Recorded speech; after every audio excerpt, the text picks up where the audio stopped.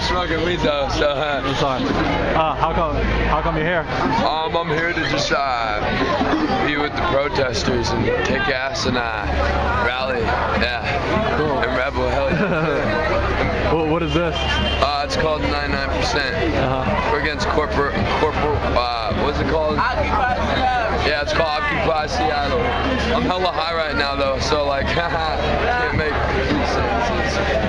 I don't want to hit the bud though.